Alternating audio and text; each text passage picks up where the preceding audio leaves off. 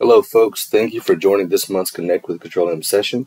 My name is Ryan Rodriguez. I'm a technical support analyst for the Control M team here at BMC. Today we'll be talking about the Control M web. Our panelists for today are Chris Green and Froylan Reyes.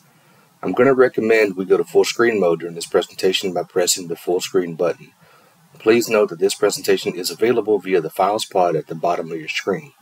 For any questions you may have during the presentation, please post them in the Q&A pod We'll address those questions at the end of the session.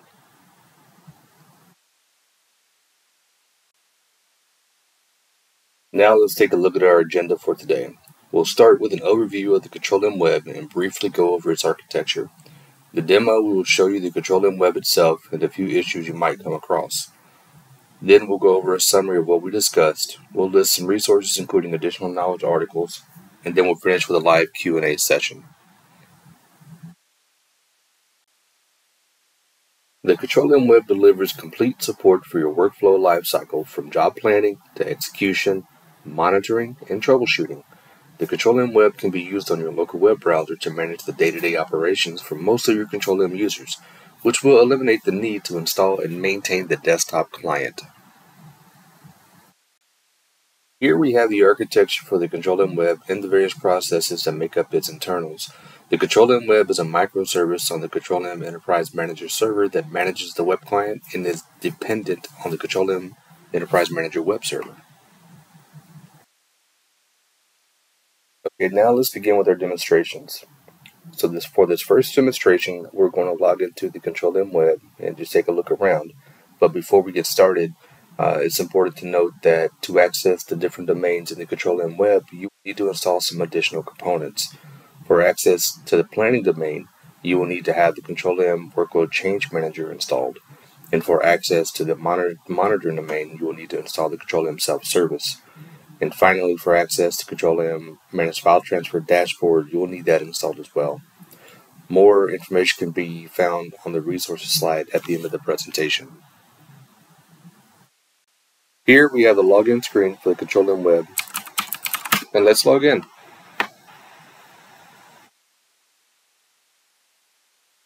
Okay, we can see that the planning, monitoring, and managed file transfer domains are, uh, are not available.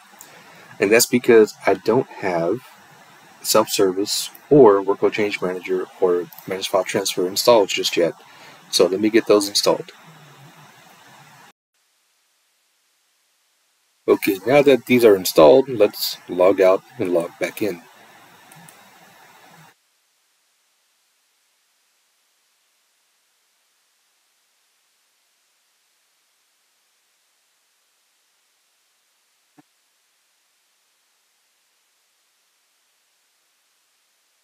Okay, now that we have self-service, workload change manager, and managed file transfer installed, we can see that we have access to their their domains in the uh, dashboard here.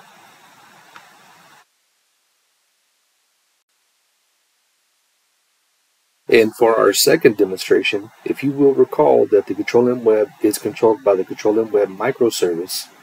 So if the Control M Web microservice is down, you will not be able to access the Control M Web. Let's see this in action. So here we are in our Control M Configuration Manager. Let's take a look at the microservice for Control M Web.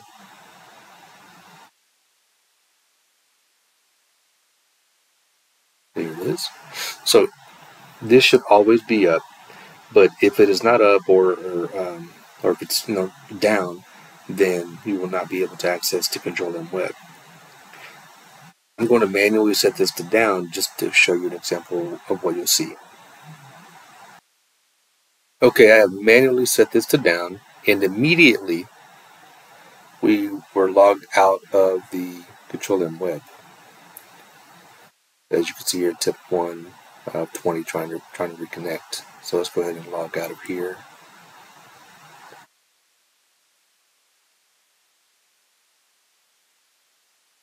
This is still showing as up.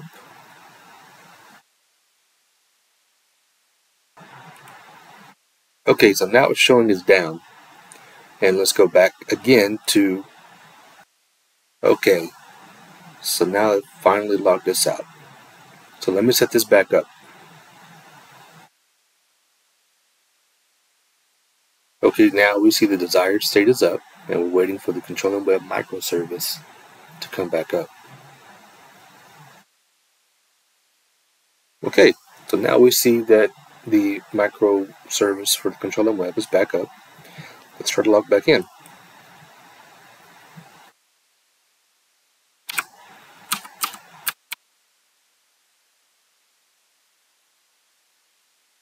Perfect. Now we're logged back into the Control-M web.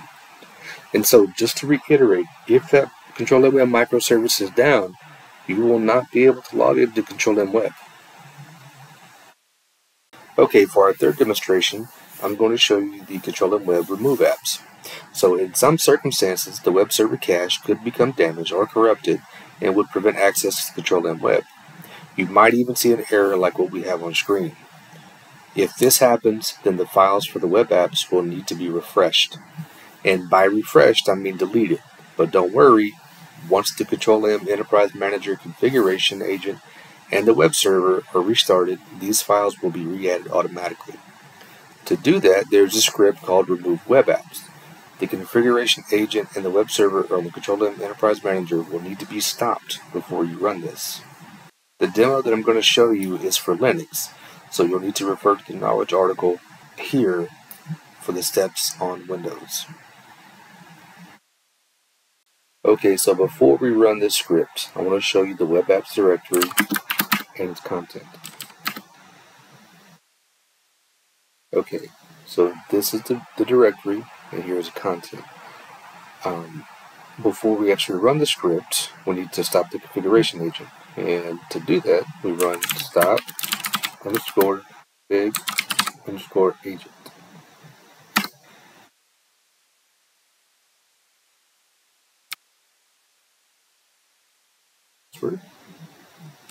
And confirm that we are shutting the configuration agent. Okay, now that this is down, we need to stop the web server. To do that, we run stop underscore web underscore server. Now that we have confirmation that the web server is down, we run the command em underscore remove underscore web apps.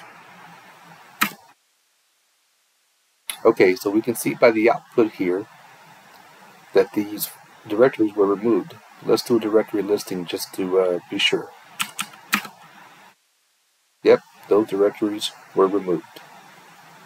Now, to get those directories replaced, we run the start underscore config agent.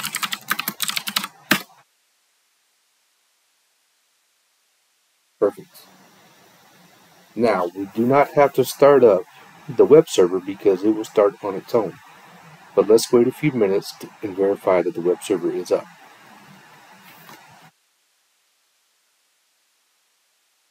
One more thing to note about stopping the configuration agent of the Enterprise Manager is that if you do this and you have a high availability setup, this will initiate a failover. So that's just something to keep in mind. To verify that the EM, um, the, the, uh, the web server is up, we run the command em web underscore status. Okay, and we can see that the web server is back up. Let's take a look at this directory one more time see that these files were recreated.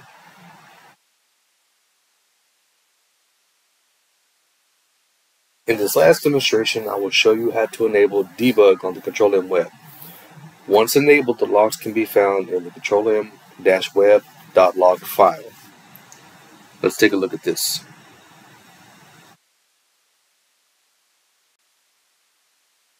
Okay, so before we change the debug levels, let me show you what the log looks like with the standard debug logging level of error.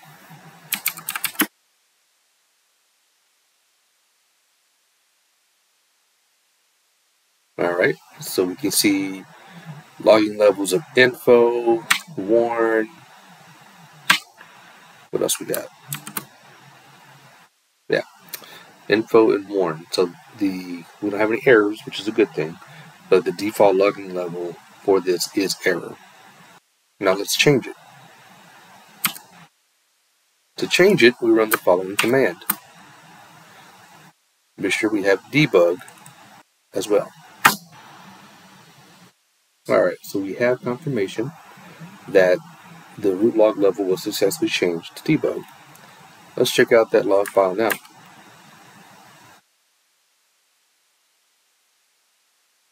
Perfect, and we can see we're now in logging level debug as we can um, see here.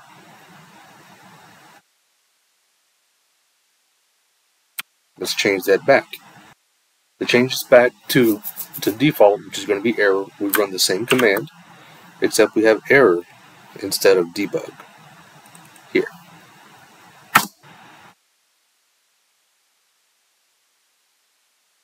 Alright, and we can see that the uh, log level was successfully changed back to error. Let's take a look at this log one more time.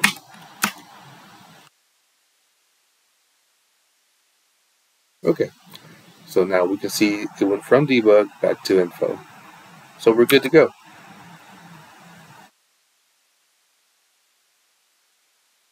Here is a summary of what we discussed.